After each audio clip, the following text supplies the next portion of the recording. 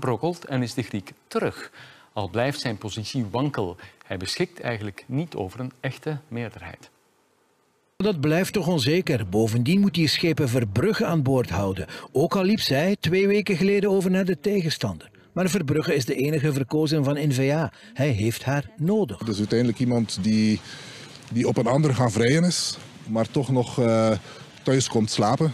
En dat is een, uh, een vreemd verhaal. Vandaar ook dat wij, en ik herhaal het, he, ook haar ontslag vragen.